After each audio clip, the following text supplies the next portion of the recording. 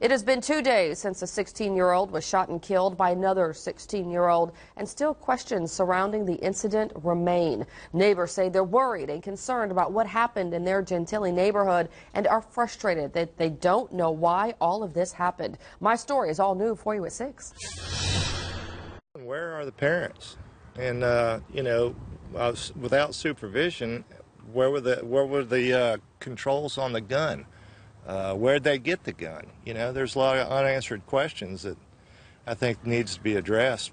A 16 year old teenager is facing negligent homicide charges after he shot and killed another 16 year old. Police say it happened Saturday around 1 p.m. in the 2400 block of Odin Street. We were working in the backyard. We heard sirens, finally came out. Oh, look, they're out here. And all I saw, all I saw was police standing around, maybe a few residents. Detectives say the two teenagers were playing with a gun they thought was unloaded. They took it from a bedroom. Somehow the gun went off. The bullet hit the other 16 year old in the head and killed him. Normal life in New Orleans, period. Things happen like that almost every day. It's unclear what happened exactly inside the home. Neighbors can only speculate. He's showing it off to his buddy.